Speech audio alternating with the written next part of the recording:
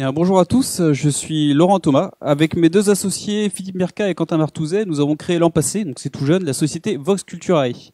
En fait, on l'a créé avec une raison d'être. On souhaite initier et faciliter la découverte pour tous. Alors pour comprendre en fait le besoin à quoi ça correspond, je vais raconter une petite anecdote qui m'est arrivée. Euh, lorsque j'étais en visite au musée Beaubourg à Paris, à un moment donné, je me suis retrouvé devant une œuvre, une œuvre cinétique qui s'appelle le Salon Agam. Alors euh, pour vous aider un petit peu à visualiser à quoi ça ressemble, imaginez-vous que vous ayez demandé à refaire la déco de votre salon à Valérie Damido, mais dans les années 70 et sous psychotrope.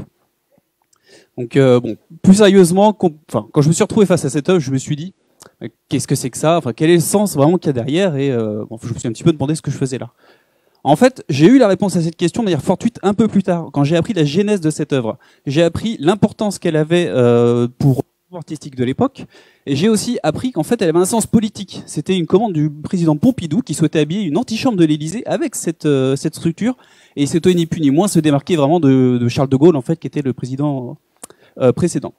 Pourquoi je raconte tout ça En fait, c'est tout simplement parce qu'à ce moment-là, j'ai compris qu'en fait, il me manquait les clés. Il me manquait les clés pour comprendre ce qui m'était proposé. Et en fait, avec Vos Culturae, c'est ce qu'on souhaite faire. On souhaite donner à nos clients la possibilité de euh, nos clients qui sont des professionnels du monde de la culture et également du secteur touristique. On souhaite leur donner la possibilité de donner les clés pour entrer dans leur univers. On veut leur donner une chance de donner à leur public l'envie de découvrir et donc de faire le pas, de venir se rendre sur place et de mieux profiter de leur expérience.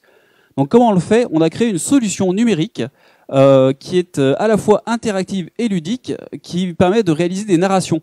Mais en fait, ce sont des narrations où le visiteur est non pas spectateur, il est acteur de sa découverte. C'est-à-dire qu'il va choisir les sujets qu'il souhaite, euh, qu'il souhaite vraiment aborder. Il va aussi euh, manipuler le temps et l'espace qui va lui permettre d'avoir une expérience tout à fait personnalisée.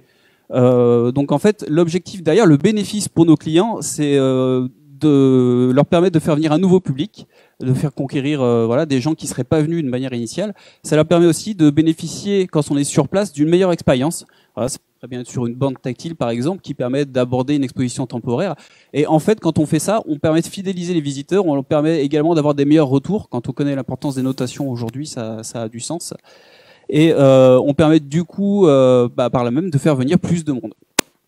Donc en fait aujourd'hui on en a du projet, donc c'est un projet qui est tout récent, on est en phase de commercialisation, on attaque aujourd'hui une phase d'accélération. On a cubé notamment accéléré par le village BCA depuis euh, très peu de temps. Euh, et également la crise du Covid nous a fait un petit peu réfléchir à la manière dont on pouvait gérer ça, puisqu'aujourd'hui le tactile on peut pas dire, euh, enfin pas forcément en odeur de sainteté. Donc on a proposé, on a profité du Covid pour proposer une version mobile, et on est également en train d'étudier la possibilité d'aborder le marché de l'éducation en ligne, puisqu'en fait notre solution s'y prête particulièrement. Et pour cela, on attaque en parallèle une étude de marché et en même temps, on va créer une plateforme grand public qui sera accessible en bêta d'ici la fin de l'année. Donc si jamais il y a des gens qui sont intéressés pour faire partie du programme euh, et tester euh, ce mode, on va dire dans un mode un petit peu éducatif, euh, eh bien vous êtes les bienvenus, bien entendu. Et, euh, et voilà, j'ai terminé.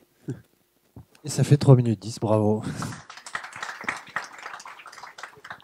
Une question peut-être dans le jury? Qui s'occupe du contenu? Vous, Pour bien alors ça- comprendre, si, si vous, fournissez l'appli, l'appli, Ouais, avec un éditeur. Et en fait, il y a deux possibilités. Soit euh, on offre une prestation dans laquelle on va créer le contenu. C'est une notion de storytelling assez importante. Euh, soit on a affaire à des grands musées qui ont des conservateurs, qui ont des médiateurs. Et là, pour le coup, ils ont l'habitude de créer le contenu. On va les accompagner toujours pour essayer de mettre le plus en valeur possible ce contenu. Mais globalement, ils peuvent être autonomes. Donc il y a les deux cas de figure.